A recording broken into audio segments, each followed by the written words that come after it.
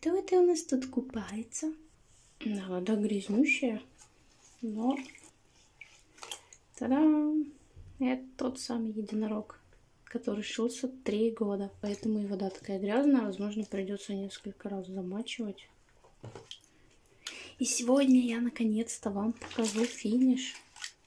Он шикарен, правда? Пока мокрый, сохнет, прополоскала. Видно некоторые косяки, но я думала, после высыхания этого не будет видно. Красота на фоне некрасивой ванной. Но бывает. А после стирки всегда цвета яркие, такие сочные. Ну, ничего не полиняло, так что хорошо, ждем высыхания. Единорог еще не совсем высох, он влажный, и сейчас самое время его гладить, я считаю. Гладить я буду с изнанки на всякий случай. И через тряпочку. И вот он готов. Три долгих года. Несколько нервных срывов, психи по поводу перетирания синих ниток, которые постоянно рвались и путались. И в июле этого года, 19-го, наконец-то я его закончила – да, закончила я его как раз в период очень сильной болезни, так что у меня пока что не очень радостные ассоциации с этой вышивкой, да. Поэтому я ее пока не буду оформлять. Единственное, что я сделаю, это обработаю вот этот край, потому что я накосячила и... Э, в общем, да, я надеюсь, этого будет достаточно, чтобы натянуть впоследствии. Вот столько ниток осталось. В принципе, я нитки не выкидываю. их можно будет приспособить под что-нибудь. Э, в общем, да, подобрать по цвету. Вышить что-нибудь еще. Какие мои впечатления? Как я уже говорила, сюжет мне очень нравится. Сам единорог мне очень нравится. А, впечатление о нитках Мадейра. Ну, что я могу сказать? Светлые оттенки, коричневые, зеленые, красные, желтые, нормально. Никаких претензий, даже блестящие вот эти вот металлизированные ложились хорошо. Все прекрасно.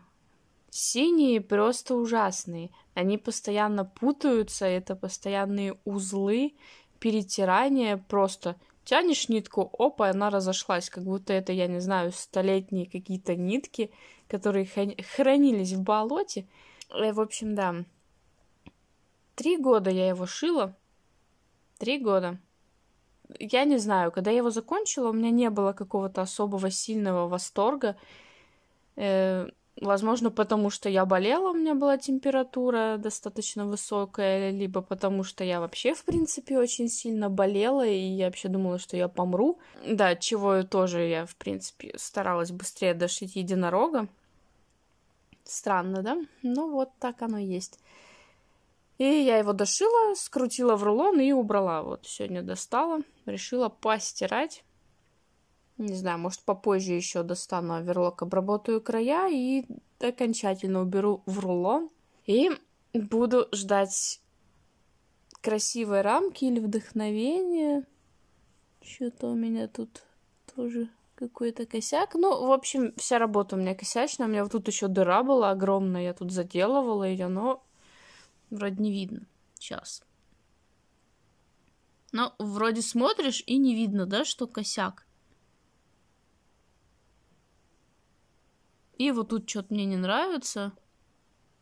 Вот. Что-то какие-то дырки. Ну да, пофиг, я уже не смотрю на это.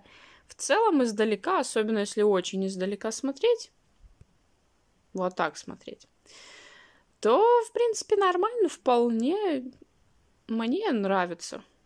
Я буду подбирать рамку, пока я не встретила хорошую, которая бы мне понравилась.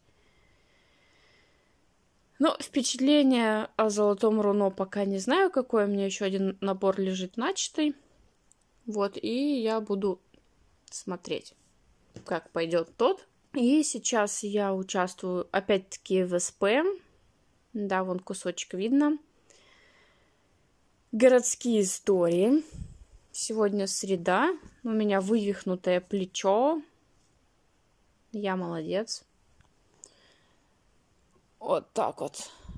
Мятое, ну, ничего страшного, да? Я надеюсь, вы стерпите. В общем, к прошлому СП, тфу, к прошлому отчету я не выполнила условия. И с дуру ляпнула, что к следующему, то есть к воскресенью отчету, я вышью первый этаж, и вот тут еще башенка будет. Как бы первый этаж у меня не закончен, рука болит, но я думаю, у меня есть еще время. Я надеюсь, я успею. В принципе, за сколько там, 3-4 недели я вышила вот, вот этот кусок. То есть уже идет прогресс, так что я надеюсь, что я, по крайней мере, один дом вышью. Э, в общем, вот такие у меня э, вышивальные истории. Да, сейчас я немножечко еще болею. Еще немножечко у меня депрессия, конечно, дает себе знать, но я пытаюсь с ней бороться. И я надеюсь, я наконец-то начну снимать опять видео, потому что я хочу к Новому году подарок. Я хочу тысячу подписчиков на YouTube. Губа не дура, но как бы хотеть не вредно. Так что вот. Спасибо всем за внимание, кто следил за моим единорогом, моими страданиями и моей любовью. Да, моя прелесть. Я очень рада, что я его все-таки доделала, не, не бросила, не выкинула, не сожгла. Но такие делишки. Всем спасибо. Всем удачи, легких крестиков, хорошего настроения и, главное, здоровья. Все, всем спасибо, всем пока.